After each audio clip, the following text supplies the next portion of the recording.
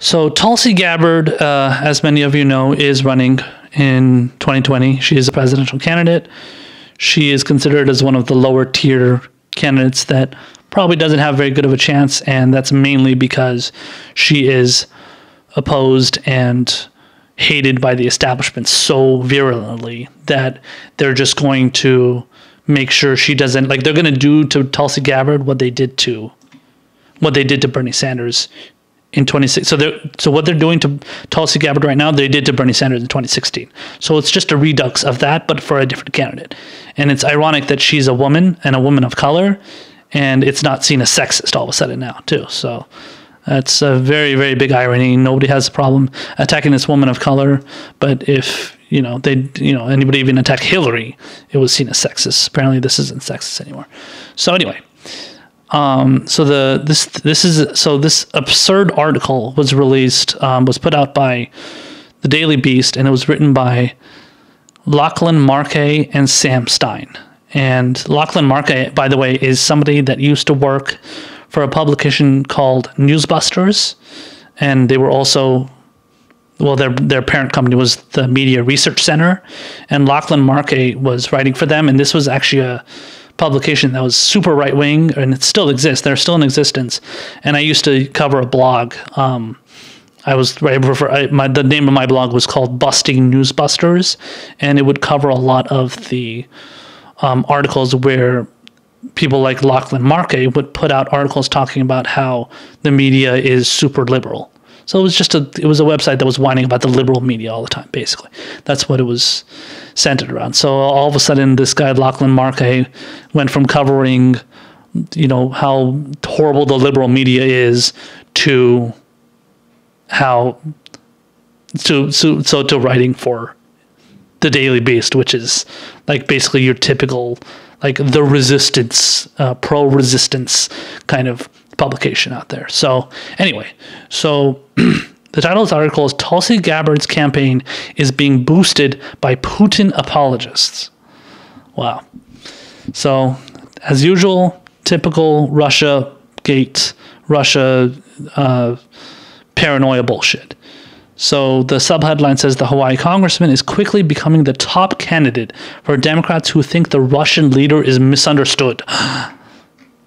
yeah, because Vladimir Putin is such a misunderstood guy. He's totally a lovable character. I honestly don't know if he is, but anyway, um, maybe he is. I have no idea. so yeah, tell Putin I want my check too. Yeah, seriously. I mean, that guy, he's obviously been doing, we, we've obviously been doing his shilling for so long. We still haven't gotten a single dime out of them. Just like all the people that say, you know, that talk about how fucking, what is it, uh, George Soros like runs all the, he runs all the like left wing, like, or not left wing, but like liberal ish, you know, faux progressive, you know, publications and, you know, backs all those different like Tandons and you know Media Matters and stuff like that. So obviously he loves Hillary Clinton and shit. I mean, I think there is some grain of truth to that, but I don't think it's. I, I think it's like I think it's a lot more. It's a lot more just about like. Like him, just like heading a bunch of like Soros just heading a bunch of organizations that are just like it's kind of like the Koch brothers, you know, just heading a bunch of organizations that are just like very influential and just like put out information to people, but like I don't think they're like creating bots and stuff. But hey, who knows? That's just my opinion. I mean, like I think, but I think it's different if you're considering like David David Brock. So if you're talking talking about David Brock and stuff, there's definitely people like Brock bots and you know those like people that were whatever paid million dollars to like you know defend Hillary Clinton or whatever. But yeah. Um, but anyway, let's. I've gone off on a tangent there a little bit. Sorry about that. But anyway, so let's read the article here. It says. Hawaii Representative Tulsi Gabbard's tel- campaign for the Democratic presidential nomination is being underwritten by some of the nation's leading Russia files. Donors to her campaign in the first quarter of the year included Stephen F. Cohen, a Russian studies professor at New York University and prominent Kremlin sympathizer, Sharon Tennison, a vocal, uh, vocal Putin supporter who nonetheless found herself detained by Russian authorities in 2016, and an employee of the Kremlin backed broadcaster RT, who appears to have donated under the alias Goofy Grapes. Okay? And it says Gabbard is one of her party's more Russia friendly voices in an era of deep democratic suspicion of the country over its efforts to tip the 2016 election in favor of President Donald Trump. Her financial support from prominent pro Russian voices in the US is a small portion of the total she's raised, but it still illustrates the degree to which she deviates from her party's mainstream on such a contentious and high profile issue. Data on Gabbard's uh, financial supporters only covers the first three months of the year. In that time, her campaign received just over $1,000 from Cohen, arguably the nation's leading intellectual apologist for Russia for Russian President Vladimir Putin. Um, Ten- uh, Tennison, which is referring to what was that person? Sharon Tennison, Tennison donated to Gabbard no fewer than five times, eventually reaching the per cycle individual contribution limit in mid March. Tennison and her group, the Center for Citizen Initiatives, Initiatives have long worked to improve U.S. Russia relations, in part by organizing junkets to the nation both before and after the fall of the Soviet Union. She's also been an outspoken Putin supporter, dubbing him a quote straightforward, reliable, an exceptionally incentive, I'm sorry, inventive man in a column last year. Tennison wrote that column in spite of her detention in Russia two years earlier when she was accused of attempting to covertly advance U.S. foreign policy interests in the country. Okay, well, then, uh, okay, well, if she was pushing U.S. interests, then, but then she's also a Putin apologist, so, I mean, she was probably just pushing for like peace efforts. But, okay. Um, let's see here. Uh, it says Gabbard also got a thousand dollar contribute contribution contribution from Goofy Grapes, who listed his or her occupation as comedian and employer as re- as redacted tonight, a current events show comedy show on Russian state backed broadcaster RT. So that show's host Comedian Lee Camp told the Daily Beast that the person who made the donation is no longer an active member of Redacted Tonight, and separately, it is a company policy to not donate to political campaigns. Camp, for his part, routinely promotes the Russian government line on world, on major world affairs, most notably the invasion of Ukraine, political unrest in Venezuela, and the Syrian civil war. God forbid. God forbid you don't push you don't push for overthrowing Venezuela and you don't push for this Syrian the narrative that you know Bashar al-Assad gassed his own people. To the extent that those donors toe the Kremlin line on issues such as Syria, they are more squarely in line with Gabbard's own views than those of any other Democratic presidential candidate as a member of Congress. Um, yeah, as a yeah, so than those of any other Democratic presidential candidate. As a member of Congress, she has personally uh, met with Syrian President, President Bashar al Assad and cast doubt on widely accepted reports that he deployed nerve gas weapons against his own people. Gabbard has also been one of the few prominent Democrats in the country to downplay the findings of Special Counsel Robert Mueller's investigation into Russia's meddling in the 2016 election. The report found no evidence of a conspiracy by the Trump campaign to support that meddling, but it did provide extensive details of that malicious influence campaign and of the Trump campaign's efforts to impede special special counsel's investigation. Um, so, I mean, the rest of it just details a bunch of people that talking about how a bunch of people are pushing in Congress are pushing for so people that are in Congress with Gabbard are pushing for more investigations and more RussiaGate fear mongering. says, but then, but the list of controversial donors to Gabbard is detailed by our filings with the Federal Commission, Federal, Federal, Federal Election Commission doesn't end there. Oh my God, Susan Sand- Susan Sarandon donated to her. Holy shit, that's terrible. God forbid Susan Sarandon donates to her. Can't have that. She gave uh, Gabbard five hundred dollars. Ali Ali Amin, the president of Primex International, wrote two checks of twenty eight hundred dollars apiece. Um, he runs the International Food Distribution Company. He pled guilty to 2015 charges that he transferred more than 17 million dollars between Iran and the United States as part of an as part of an unlicensed business transaction. Okay. Another person is Cullen Tiernan, a spokesman for Gabbard.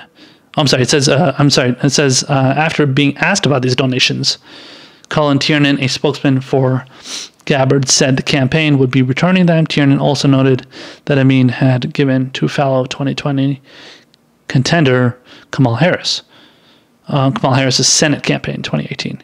Ian Sams, a spokesman for Harris, said the senator refunded Amin's donation in 2018. Um, that's uh, that's it. The, know. The rest of it is. Uh, it's- says she mounted an unorthodox bid for the Democratic nomination. She only had one paid staffer. Blah blah blah. There's another part. Um, okay, so let me just read this other this last two paragraphs here. It says Gabbard's media strategy has also been counterintuitive for a national Democrat. She has made several appearances on the Joe Rogan Experience podcast. Um, which, while being one of the most popular platforms on that medium, is a haven for Trump supporting guests. Gabbard also is among the few Democrats who has a captive audience on Fox News, owed, owed largely, to, largely to her willingness to criticize Barack Obama, as well as her party's party, as well as her party's planks on both Russia and foreign policy in general. Tucker Carlson, a primetime host on that network, has publicly defended her. God forbid. Though she has not courted their support, some prominent figures in the white nationalist community have flocked in Gabbard's direction. David Duke, the former KKK leader, has heaped praise on her, and on several occasions, uh, Richard Spencer, the avowed white supremacist, has tweeted favorably about her, including once again this week. okay, finally done with that bullshit article. So, yeah, that last part was ridiculous this whole fucking article is absurd. But that last part, trying to tie her to white nationalists and white supremacists and all that shit, is such bull. It's such garbage, man. That is typical fear mongering establishment narrative. I mean, that's what they do. This is what they do. This is the kind of garbage they push because they need to scare you about how Tulsi Gabbard is going to take over the fucking world if she, or take over the country if she's president and you know if she gets praised by a bunch of KKK people that means she's automatically like that means she's automatically like she loves their support. She doesn't even want their support. They did they mention here it's as though she has not courted their support? Yeah well she hasn't not only has she not courted but she denied. When when uh David Duke, I think, posted something on Twitter about how much he supports Tulsi Gabbard or said he supports her for president or something or loves the, the things that she says. He, she said, I don't want your fucking support. Get the hell out of here. I don't want to have, I don't want to have nothing to do with you. So I don't support you supporting me. So piss off, basically, is what she said. I don't know what response she gave to Richard Spencer, but I'm sure it was similarly, similarly chastising and, you know, not wanting to anything to do with him. Um, and then the other part talking about Joe Rogan has hosted a bunch of right wing people on his, you know, a bunch of right wing people on his uh, podcast. He's also had a bunch of left wing people. Joe Rogan has hosted Lee Camp, who priorly mentioned, who was prior, who was mentioned prior in this uh, article. Lee Camp is a big time left winger. Abby Martin is a big time left winger. Uh, Kyle Kulinski has been on there multiple times, host of Secular Talk. Jimmy Dore has been on there at least two or three times. These are all left wingers. Uh, who's another one? There was another person who was a left winger. Uh, well, I know Cenk Uygur has been on there. I know Ana Kasparian has been on there multiple times. Cenk only went once. He's from TYT, obviously. Ana Kasparian as well from TYT. They they went on a total of three times. She went on twice. Um, they haven't been on there a while, but they did go on there. Um, I mean, yeah, it just seems that yeah, it seems that I'm I'm, I'm a big fan of Joe Rogan. I'm I love the fact that Tulsi went on there. She's awesome. She's awesome for you know putting her putting her reputation on the line for going on there. Somebody mentions that Chris Hedges also went on there. Chris Hedges, somebody I mentioned earlier, who I follow. He's a great, he's a great reporter, um, great journalist. Has you know covered a lot of you know issues that pissed off the establishment as well, which is great. Um, yeah, so I mean, this is just typical fear mongering from the media. Um, I don't really have much to say other than the fact that it's just comical how the media just keeps wanting to scare people with this McCarthyism, and anybody that stands up for anything that is not that is not with the establishment and is not pushing for more wars, basically, you're automatically dubbed a Putin apologist. You're dubbed, you know, a, a Russian agent. You're dubbed. A, you know, a, what is it? A dictator lover. Whether you're a dictator lover, you know, you love uh, Bashar al-Assad. You love um, um, what's his name? Um, Nicolas Maduro. You love. Um, I'm sure people are going to start throwing in um, Iran's, you know, supreme leader, which is Ali Khamenei. I'm sure they're going to be throwing in that that, that in there. Uh, I'll be happy to at, at some point. I'm going to be happy to be dubbed a an Iranian puppet or an Iranian apologist or an Iranian agent, considering the fact that I am Iranian. So all those other Russians out there that are called Russian bots and being Russian, I'm sure I'm going to get similar treatment. So that should be fun. Um, yeah, Hamas is another one. Yeah. So, I mean, the media is such a joke these days. And part of the reason why I'm doing this podcast is because I'm I'm trying to tie I'm I'm doing my very very small tiny part, my putting a very very small tiny effort in trying to turn that tide in how this in how the media covers these these issues in such horrible fashion, pushing for endless wars, pushing for, you know, for example, more deregulation of Wall Street, pushing for you know, you know the, the healthcare industry and the pharmaceutical industry and the insurance industries to screw us all over, but not pushing for you know for college to be free like it is in in you know in every other industrialized nation uh, you know as uh, obviously the same you know medicare for all you know universal health care all that stuff all this you know all this shit is just i'm doing my best to be a part of that movement to push against to push back against that because i I know I can't do it alone. That's why there's great people like Kyle Kulinski, Jimmy Dore, Tim Black, uh, Humanist Report, Mike from Humanist Report, Michael Figueredo, um, you know, all my other activists out there. Uh, hippie activist, thank you for commenting. I've seen you on Twitter. You do a great job. Thank you for commenting on my, you know, on my podcast. Um, all the other people that are tweeting about my podcast, you know, promoting it for me and letting them, letting me tag them so they can watch my segments and everything on YouTube. I really appreciate that. So it's like I'm trying to do my effort in in in kind of making sure that at least in some case we have a voice that speaks for us. So just like Bernie Sanders and Bernie Sanders and Tulsi Gabbard and, and all those people, they're speaking on behalf of us in, in, in government you know, people like me and all the other people that I mentioned, we want to speak on behalf of those other people that are out there. So all the voters out there that don't have a podcast or don't, you know, don't have some form of, you know, they don't like, you know, they're not the kind of people that are like speaking out on social media like we do. You know, we speak on behalf of them. So all the people that are silenced and not spoken for, we're speaking for you. So hopefully I'm doing a good job. Hopefully you know, all, you, you guys love all those other guys that I mentioned, all those other journalists and podcasters and hosts and everything that are doing.